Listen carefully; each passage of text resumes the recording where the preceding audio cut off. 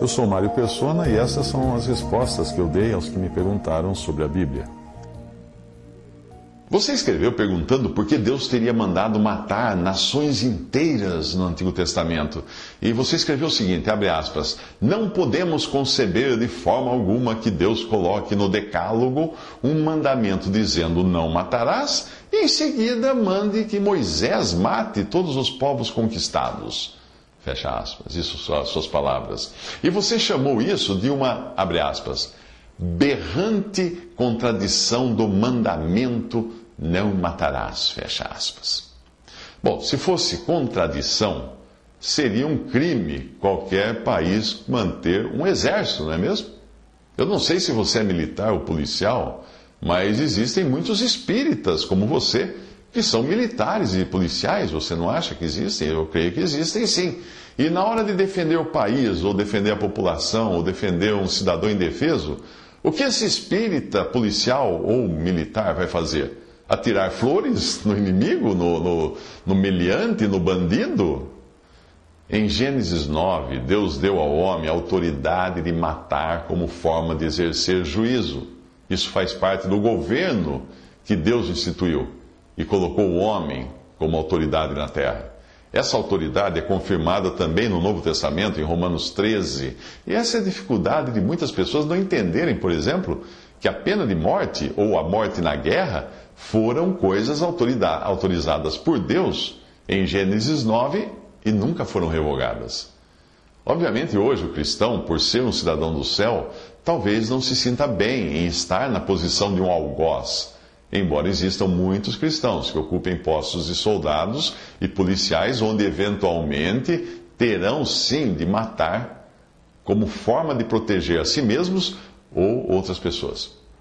Eu também tinha dificuldade para entender esse modo de proceder de Deus no Antigo Testamento, até entender a noção de autoridade, algo a que todos nós estamos sujeitos. Não cabe ao subordinado julgar se a autoridade está certa ou errada. Cabe a ele se submeter aos poderes superiores, sejam eles pais, professores, policiais, prefeitos, governadores, presidentes, juízes ou seja lá o que for. Nós temos autoridade sobre nós, porque se não tivesse seria uma bagunça, seria uma anarquia.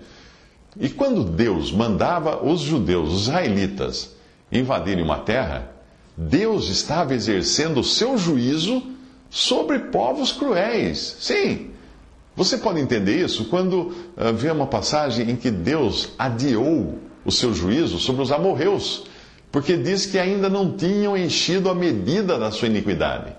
A passagem diz assim, Gênesis 15, 16: Na quarta geração, porém, voltarão para cá, porque a medida da iniquidade dos amorreus não está ainda cheia. Ou seja, eles não tinham chegado no topo da iniquidade para exigirem um juízo severo de Deus, aquele povo dos amorreus.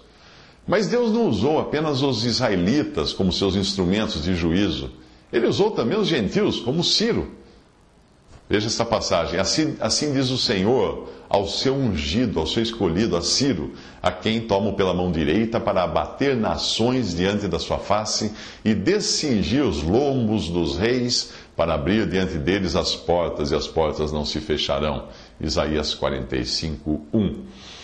Se, se nós pensarmos então no reino milenial de Cristo, que ocorrerá após o arrebatamento da igreja e após a grande tribulação e antes do juízo final, aí então fica fácil entender que não será uma coisa tão idílica esse reino de mil anos de Cristo na terra. Não, não vai ser, o, como alguns pensam, o paraíso na terra, não é?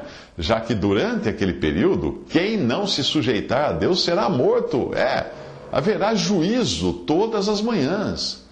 É, é, difícil admirar o trabalho de um soldado na guerra, de um policial na, na luta contra o crime, ou de um carcereiro que fica trancafiando pessoas na, nas celas mas eles são instrumentos da justiça humana e, por tabela, são instrumentos da justiça divina, porque Deus instituiu essa autoridade e deu autoridade aos homens para agir assim.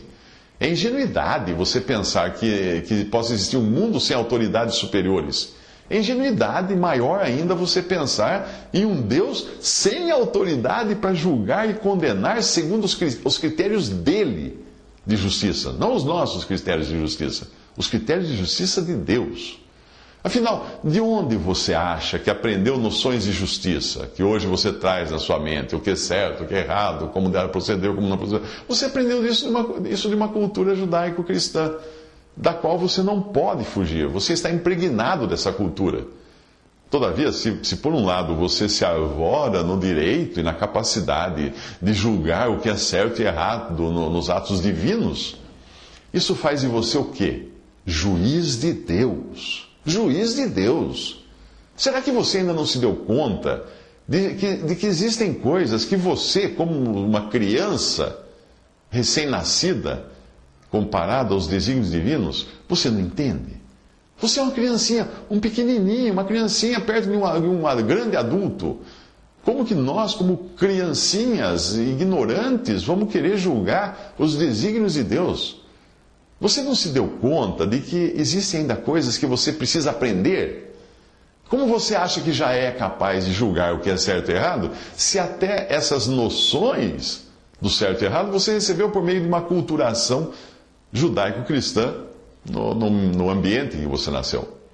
Os seus filhos, quando pequenos, certamente não entendiam muitas das suas ordens ou do seu modo de proceder quando você falava com eles. E veja que eles estavam apenas poucos anos de serem adultos, para entender essas coisas.